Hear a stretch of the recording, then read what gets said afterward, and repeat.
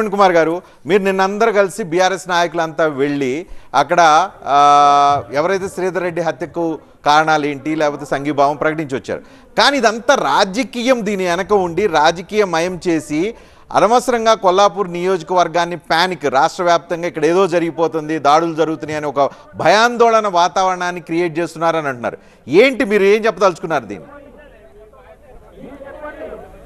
రజనీకాంత్ గారు చాలా ధన్యవాదాలు ఈ డిబేట్కు నన్ను పిలిపించినందుకు. స్ట్రైట్ ఆన్సర్ అండి. తెలంగాణలో నూట పంతొమ్మిది నియోజకవర్గాలు ఉన్నాయి. కానీ కొల్లాపూర్ గురించే ఈ చర్చ ఎందుకు వస్తుంది? కొల్లాపూర్లో ఇదొక్కటి కాదండి. డిసెంబర్ మూడు రిజల్ట్ వచ్చిన దగ్గర నుంచి రెండు వేల ఇరవై మూడు అక్కడి నుండి ఇప్పటి వరకు కూడా వరుస సంఘటనలు జరుగుతున్నాయి. మీరు రిజల్ట్ వచ్చిన రోజే బీఆర్ఎస్ నాయకుల మీద దాడులు జరిగినాయి. తర్వాత ఎన్నో గ్రామాలు నేను ఒకటి రెండు కాదు చాలా గ్రామాలు కూడా భయాందోళనలు ఉన్నారు. చాలా మంది కూడా ఆ రోజు రిజల్ట్ వచ్చిన రోజు బీఆర్ఎస్ నాయకులు ఇళ్ళల్లో పడుకోలేదండి. వాళ్ళందరూ కూడా వేరే ఊర్లలో పోయి పడుకున్నారు. ఇది ఇది ఒకటో మర్డర్ కాదు ఇది మూడవ మర్డర్. మర్డర్లు ఒక్కటే కాదండి. చాలా చోట్ల కూడా ఈవెన్ ఈ రోజు ఈ రోజు కూడా మాకు కోడేరులో కోడేరు మండలంలో ఇల్లు కూలిపోయిందని చెప్పేసి ఎంఆర్ఓ దగ్గర పర్మిషన్ తీసుకొని వాళ్ళు పది ట్రిప్పుల ఇసుక లోడ్ తీసుకొని వస్తుంటే పోలీసు వాళ్ళు అక్రమంగా తీసుకుపోయి ఆ వెహికల్స్ను ట్రాక్టర్స్ను సీజ్ చేసి అక్కడ పెట్టుకున్నారు. ఎంఆర్ఓ పర్మిషన్ ఉందండి ఎంఆర్ఓ పర్మిషన్ ఉన్న తర్వాత కూడా పెట్టుకున్నారంటే మీరు ఒకసారి ఆలోచించండి. అరాచకం ఉంది కొల్లాపూర్ నియోజకవర్గంలో. నేను మంత్రి గారి పేరు నేనైనా మంత్రి గారికి నాకు వ్యక్తిగత కక్షలు లేవండి. జూపల్లి కృష్ణారావు గారు నేను కూడా పర్సనల్గా ఐ నో హిమ్ నేను social welfare residence school secretary ఉన్నప్పుడు వారు కూడా నా దగ్గరికి ఒకటి రెండు సార్లు వచ్చారు. ఇక్కడ ఇష్యూ ఏంటంటే ఒక మంత్రి అంటే ఇది మామూలు విషయం కాదండి. హీఈస్ లైక్ గాడ్ ఫాదర్ ఆయన తన కార్యకర్తలందరికీ కింది స్థాయి నాయకులకందరికీ మరి ముఖ్యంగా పోలీస్ అధికారులకు స్పష్టంగా ఆదేశాలు ఇవ్వాలి. ఏమని? నేను ఏ పార్టీ వాళ్ళైనా నేను ఎట్టి పరిస్థితుల్లో కూడా టాలరేట్ చేయను.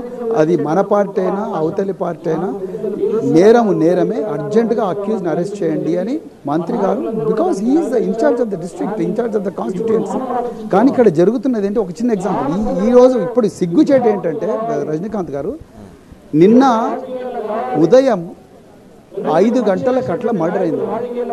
ఈరోజు మనం we are talking at eight PM today ఎనిమిది గంటల వరకు కూడా నిందితుడు ఎవరో తెలియకపోవడం. అంటే అర్థం ఏంటి? మరి మీ క్లూస్ టీమ్ ఎక్కడ పోయింది? జిల్లా యంత్రాంగం అంతా ఎక్కడ పోయింది? ఓపెన్గా ఊరందరికీ తెలుసు ఎవరి వల్ల అయింది ఏంటి అనేది. ఊరందరి తల్లిదండ్రులు ఎనభై సంవత్సరాల వయసున్న తల్లిదండ్రులు ఇది జూపల్లి కృష్ణారావు గారి మనుషులే చేసిండ్రు అని ఓపెన్గా ఆ ముసలాళ్ళకు వాళ్ళకి? ఆధారాలు లేకుండా వాళ్ళు క్లియర్గా చెప్తున్నారు. ప్రాపగాండా ఎలా చేస్తారు? వాళ్ళు. మీరు పోలీస్ అధికారిగా పనిచేశారు. లేదు లేదు లేదు. ఒక్క నిమిషం ఒక్క నిమిషం ఒక్క నిమిషం ఆగండి ఆగండి ఆగండి ఆగండి ఆగండి ఆగండి ఆగండి ఆగండి. నేను చెప్పిన స్టేట్మెంట్ జాగ్రత్తగా వినండి. జూపల్లి కృష్ణారావు గారి మనుషులే చేసిండ్రు అని చెప్పి వాళ్ళు అంటున్నారు. వాళ్ళు అన్న తర్వాత మరి మంత్రి గారు ఉన్నారు. మరి పోలీసు వ్యవస్థను అందరినీ కూడా దింపాలి. పక్క జిల్లా వాళ్ళు కూడా దింపండి. చూడయ్యా నా పేరే అవుతున్నది. నా పేరే బదనాం అవుతున్నది. అందుకొరకు అర్జెంటుగా అన్ని జిల్లాల పోలీసులందరూ ఇక్కడ దిగండి. దిగి అక్యూజ్ని పట్టుకొని అనాలి ఇంకొకటి ఎగ్జాంపుల్ చెప్తాను మీకు నేను. మేము మే పదమూడో తారీఖు నాడు ఎంపీ ఎలక్షన్ అయిందండి రజనీకాంత్ గారు. మే పదమూడు నాడు ఎంపీ ఎలక్షన్ అయితే చిన్న కారు పాముల అని పెద్ద కొత్తపల్లి మండలం ఇదే కొల్లాపూర్ నియోజకవర్గం. మే పదమూడు తారీఖు నాడు దళితులను ఘోరంగా కొట్టిండ్రండి. వాళ్ళు ఏ పార్టీ వాళ్ళనేది అక్కడ సమస్య కాదు. ఆ ఆలయ కమిటీ చైర్మన్ శ్రీనివాస్ అనే వ్యక్తి ఇంకొక ఇరవై మంది కలిసి దళితులను ఘోరంగా కొడితే వాళ్ళ చేతులు ఎరిగినాయి ఫ్రాక్చర్స్ అయినాయి. వాళ్ళు నాగర్ కర్నూలు నియో- గవర్నమెంట్ జనరల్ హాస్పిటల్లో ట్రీట్మెంట్ తీసుకుంటుంటే మేము అక్కడ పోయి నేను అక్కడ నుంచి డిఎస్పీ గారితో మాట్లాడాను. డిఎస్పీ గారితో మాట్లాడితే ఏమైందండి? మరి అక్యూజ్ను పట్టుకున్నారు? అక్యూజ్ను మీరు దొరకబట్టారా? అక్యూజ్డ్ అంటే నిందితులు దొరికారంటే సార్ దొరకలేదు సార్. అరే ఆలయ కమిటీ చైర్మన్ పేరే చెప్తున్నారు కదా అంటే లేదు సార్ ఆయన లేడు సార్. వీళ్ళు లేరు సార్ వాళ్ళు లేరు సార్. వాళ్ళను అంటే ప్రతి కేసులో కూడా అక్యూజ్ని అరెస్ట్ చేయండి నిందితులను అరెస్ట్ చేయండి అని ప్రతిసారి అడుక్కోవాలి. ఇంకా ఘోరం చెప్తాను మీకు. కొల్లాపూరు మండలంలో ముక్కిడి బంధం అనే గ్రామంలో రామచంద్ర యాదవ్ అనే మా పార్టీ మండల నాయకుడు ఆయన పొలంలోకి పోయి నిందితులు ఆయన అటాక్ చేస్తారు. ఆయన అటాక్ చేసి దెబ్బలు తిన్నది ఆయన. వేరే వాళ్ళ మీద కేసు పెడతారు. అంటే ఆయన వేరే వాళ్ళు వచ్చి ఈయన మీదనే కేసు పెడతారు. పోనీ సరే ఇద్దరు గలాట జరిగింది. మరి నా కేసు కూడా మీరు తీసుకోండి నాకు కూడా దెబ్బలు తగిలినాయంటే ఆయన కేసు తీసుకోరు. నేను ఎస్ఐలతో మాట్లాడాను సిఐలతో మాట్లాడినా. మాట్లాడితే వాళ్ళు ఏమంటారు? సార్ ఎక్కడుంది సార్? ఏం కేసు సార్? అంటారు. ఈ రోజు ఈ రోజు అచ్చంపేటలో అంటే కొల్లాపూర్ నియోజకవర్గం కాదు కానీ అచ్చంపేట కొల్లాపూర్ పక్కన అచ్చంపేటలో మా కార్యకర్తలు తండ్రులు తింటేనేమో అవతల మీద కేవలం సింపుల్ ఇంజరీస్ అని త్రీ ట్వంటీ ఫోర్ ఐపీసీ కింద కేసు పెడతారు. మా కార్యకర్తలు ఆత్మరక్షణ కోసం దాడి చేస్తేనేమో వాళ్ళ మీద మూడు వందల ఏడు అంటే హత్యాయత్నం కేసు పెట్టి వాళ్ళని జైలుకి పంపించారు ఇప్పుడు.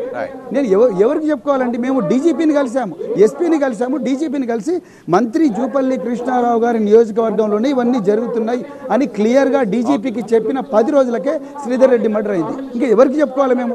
హోంమంత్రి రేవంత్ రెడ్డి. ఆయనకు చెప్పాలన్నా ఆయన ముఖ్యమంత్రి హోంమంత్రి. మరి జిల్లా మంత్రి అన్నారు. నా హోంమంత్రి నా ముఖ్యమంత్రి ఉన్నాడు. మా ముఖ్యమంత్రికి చెడ్డ పేరు వస్తుంది నాకు చెడ్డ పేరు వస్తుంది అని మంత్రి అందరి పోలీసులు పిలిపించి ఒక రివ్యూ తీసుకొని స్ట్రిక్ట్ వార్నింగ్స్ ఇవ్వాలి కదా. ఏమి ఇచ్చారు మంత్రి గారు?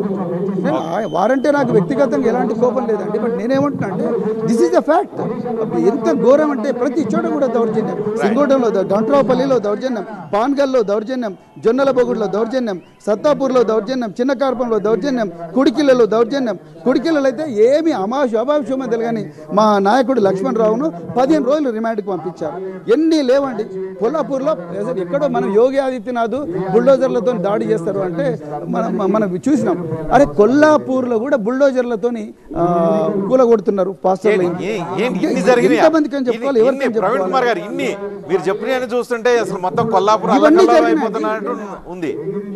అబ్సల్యూట్లీ మా డిమాండ్ కూడా అదే రజనీకాంత్ గారు. కొల్లాపూర్ను కల్లోలిత ప్రాంతంగా ప్రకటించాలి. కొల్లాపూర్ను ఫ్యాక్షన్ సంస్కృతి వచ్చింది కొల్లాపూర్లో. పక్కన వనపర్తిలో లేదు. పక్కన మీకు ఏమంటారు ఈ గద్వాలలో లేదు. ఈవెన్ అలంపూర్లో లేదు. అదే విధంగా మీకు ఇక్కడ కల్వకుర్తిలో లేదు. జూపల్లి? కృష్ణారావు వల్ల జరుగుతుందా? హర్షవర్ధన్ రెడ్డి ఆర్ఎస్ ప్రవీణ్ కుమార్ వల్ల ఇవన్నీ చాలా పెద్దగా కనిపిస్తూ ఉన్నాయా? రజనీకాంత్ హర్షవర్ధన్ రెడ్డి గారి టైంలో ఏమేమి జరిగినా ఒకసారి వాళ్ళని అడగమని చెప్పండి. ఏమేమి జరిగినాయి? హర్షవర్ధన్ రెడ్డి గారు ఈజ్ లా అబైడింగ్ సిటిజన్ అండి. ఆయన చాలా జాగ్రత్తగా నడిపించిండు. ఆయన ఆయన నిజంగా ఆయన కూడా కసితో నీ కక్షలు కార్పణ్యాలు పెట్టుకునేటోడు అయితే అట్లా కాదు is a qualified lawyer supreme court lawyer ఆయన. ఆయన అట్లా అట్లా చేస్తాడని అనుకోలేదు. రెండోది ప్రవీణ్ కుమార్ పోతే జరుగుతాయండి? ప్రవీణ్ కుమార్ ఇరవై ఆరు సంవత్సరాలు ప్రాణాలకు తెగించి దేశం కోసం ప్రాణాలు తెగించి president's police medal for gallantry శౌర్య పథకం తీసుకున్న వ్యక్తిని నేను. ఎక్సలెన్స్ అవార్డు తీసుకున్న వ్యక్తిని. President's police medal for meritorious service తీసుకొని నా ప్రాణాలకు తెగించి నేను దేశం కోసం పోరాడిన వ్యక్తినండి నేను పోయి ఫ్యాక్షనిజాన్ని ఎట్లా ప్రోత్సహిస్తా? నేను జూపల్లి కృష్ణారావు గారిది ఒకటే రిక్వెస్ట్ నేను. సార్ మీరు చాలా సీనియర్ మినిస్టర్ మీరు senior minister you have to own this responsibility you have to own this moral responsibility మీరు నైతిక బాధ్యత తీసుకోండి. మీరు పోలీసు వాళ్ళని పిలిపించండి. మీ కార్యకర్తలను పిలిపించండి. ఇంకొకసారి జరగకూడదు అని మీరు చెప్పండి. ఎందుకు? Why's that you are not saying that okay right అండి Praveen Kumar thank you very much మీరు బహిరంగ సభలో నుంచి కూడా బయటకు వచ్చి మరి మాట్లాడినందుకు. Thank you